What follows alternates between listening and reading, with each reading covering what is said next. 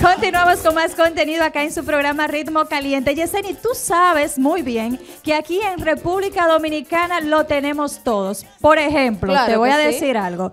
¿Tú no te ha pasado que en algún momento ha pasado por un lugar donde están esas bancas famosas acá en la República Dominicana y de repente ve una de esas banqueras, señores, tomándose un trago y relajando con el que va a comprar unos números, señores? Claro, Angelina, que yo lo he visto, pero eso es algo muy normal y es porque en Ah, pero, RD lo pero tiene yo no, todo. pero yo no he dicho nada malo, Yesenia. Yo estoy diciendo no, que, pero te veo que como eso se ve aquí Te muy veo como que medio relajando con eso, yo sé, no, Ah, no pero, creo. pero eso es parte de nosotros, ¿no? Sí, porque RD lo tiene todo, pero creo como que tú no tienes que estar relajando porque, ajá, ¿qué pasa?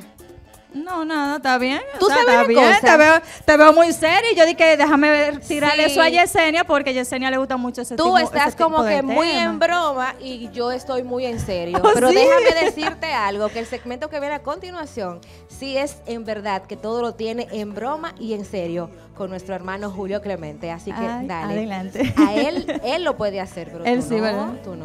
Bueno, pues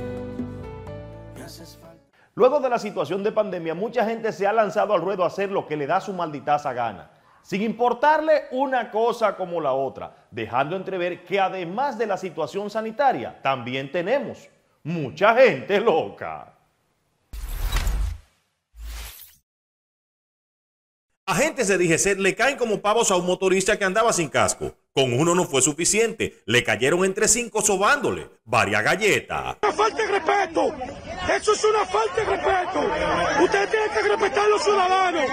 Eso es increíble lo que pasa aquí en República Dominicana. Don parroquiano fue chivateado por vecinos porque supuestamente tenía un kitipó a todo lo que da con una bulla del diablazo. No solo le llevaron el radio, se puso a reclamar y le echaron gas pimienta en los ojos. Pa' que no joda. Ay, güey, no me, no me agarre el teléfono. Ay, güey, aguanta. Aguanta, ¿en qué momento? ¿En qué momento, comando? Comando, ¿en qué momento? Me escuchó sonando.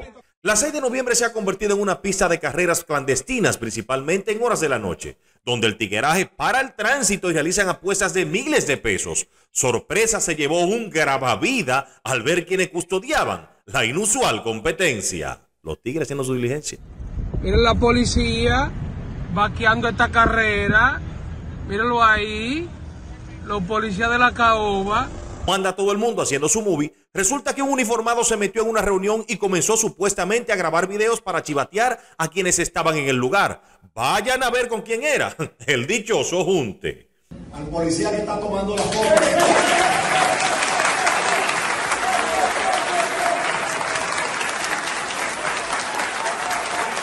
Nada tiene de malo que un jovencito con más de 50 años haga su esposa a una señora menor de 25. Para el amor no hay edad. El dinero no es jabón, pero limpia. Tampoco es cirujano plástico, pero rejuvenece.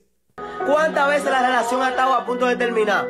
Muchísimas veces, ¿verdad? Entonces tú crees que eso es casualidad de la vida que tú y yo a esta altura de juego estemos juntos. En un fin de semana cualquiera los barrios se ponen patas arriba. Por un pote de romo, un tigre hace malabares en el tendido telefónico.